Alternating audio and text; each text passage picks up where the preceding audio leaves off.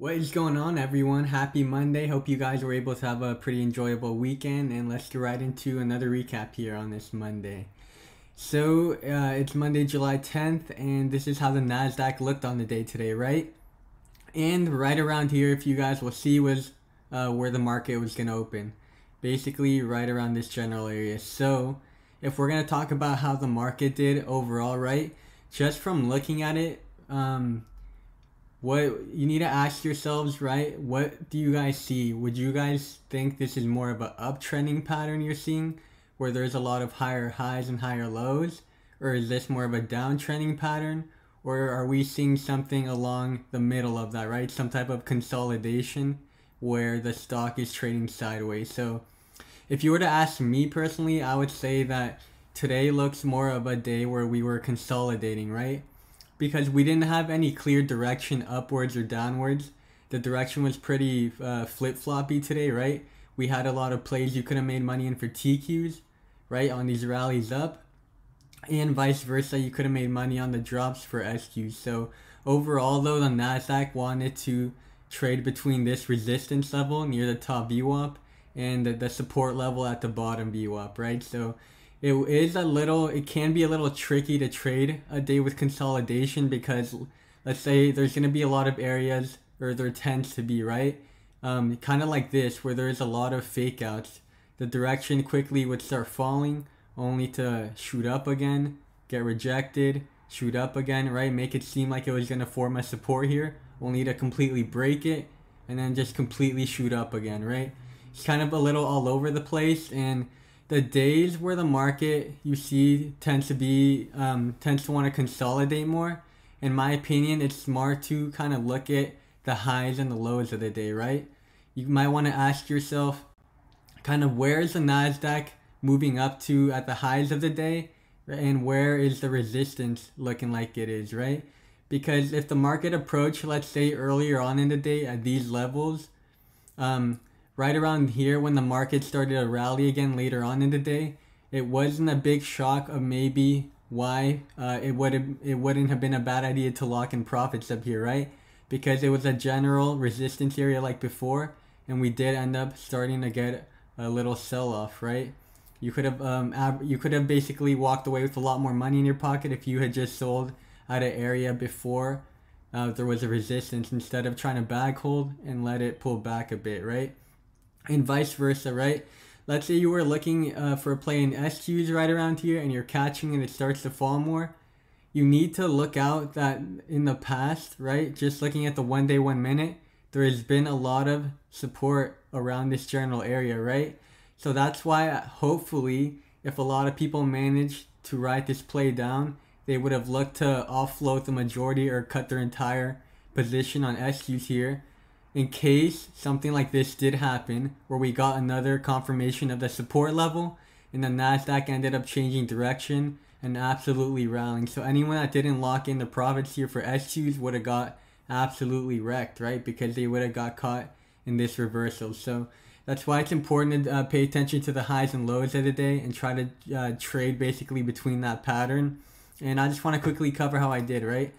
So Today, as far as day trading goes, I was up $27 on TQs and I was up $4 on SQs. So just over $30.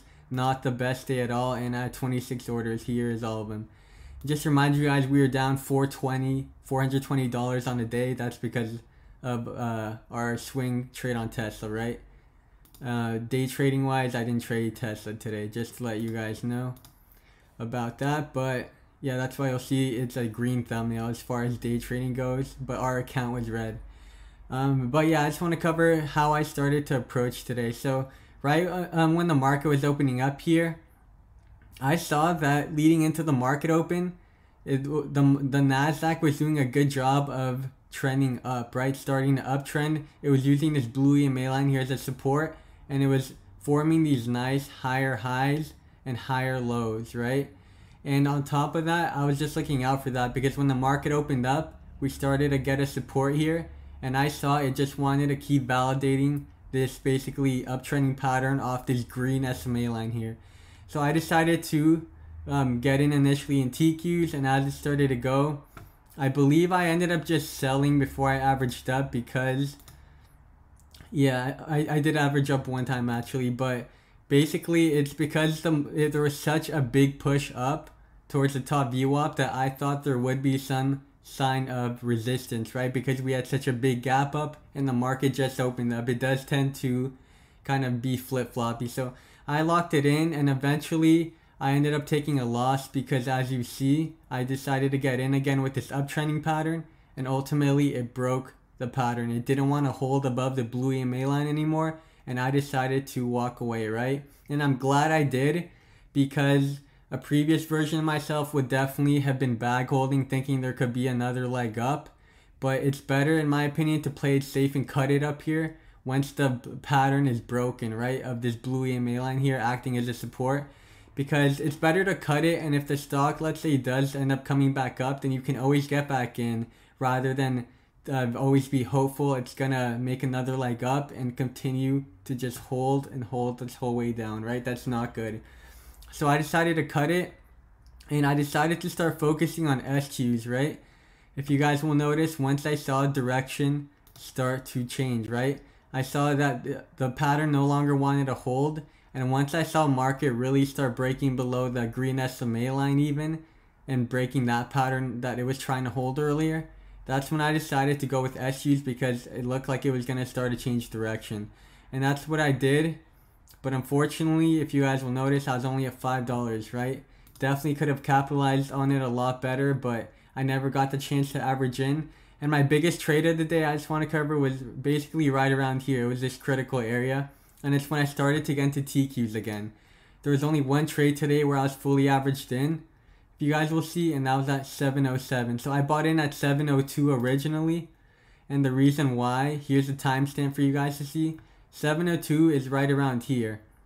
And the reason why I bought into TQs again was because I saw this pattern, this downtrending pattern, was also no longer trying to validate itself, right? Because the market was no longer trying to use this blue EMA line here as a resistance now, right? Rather than a support. Every time would approach it, it would act as a resistance and get rejected. And once I saw that no longer happened here again, right, we were able to break above it pretty strongly. That was basically my indication that we could start seeing a change of direction because uh, the, the pattern, right, for SQs as it was uptrending is no longer being validated and it's looking like it wants to switch again. So I got into TQs and I fully sent my position at 707, right? Right around here. Once I saw the market push up nicely, got rejected a bit and wanted to bounce again and confirm a, a bounce off of this blue EMA line here to start basically acting like it wants to uptrend again, like I just said. Uh, 707 is right around here. I sent it fully. And if I had just stuck to my plan and hold and held it, right? um, only to sell basically right around these highs, I could have definitely done nicely on the day, right? That's a 0.34% move, but the ETFs we're trading are triple average, so it would have been around three times that. So that would have been around 0.99%, right? And that's our goal, right? Basically right there in one trade, 1% for the day. And I could have cut it here, and that did end up happening. But unfortunately, I ended up cutting the trade here because as it started to push up nicely, I saw that we wanted to start forming a resistance somewhat. And I just wanted to play it safe, but um, in my opinion, I should really let my winners run and let my trade play out just as I thought it would have because I ended up uh, locking in the majority. It ended up coming back down.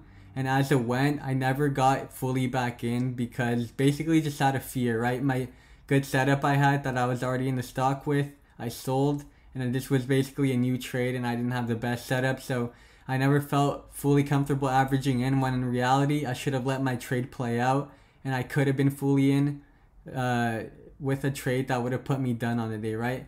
If I had sold up here I would have ended today up closer to my goal around 70 to 80 dollars because I was red on the day around 20 dollars beforehand. But as you guys can see because I cut it early I ended up only being in with a quarter maybe half. And because of that, I only ended the day up uh, just over thirty dollars because I did take a red trade, one last one, on um, TQs. I tried to buy in, uh, in one more time at seven thirty basically right around here. I thought maybe we could see another leg up here, but it ended up selling off obviously. So yeah, that's how my day went. It was a bit of a longer video, but just wanted to talk about how important it is to look at direction, right? Look at the overall highs and lows of the day. And on top of that, make sure where uh, you're buying into is really validating signs of an uptrend, right? And showing signs of growth. So thank you guys so much for watching. It really means a lot that you guys will tune back in. I hope to uh, see you guys all tomorrow. Take care.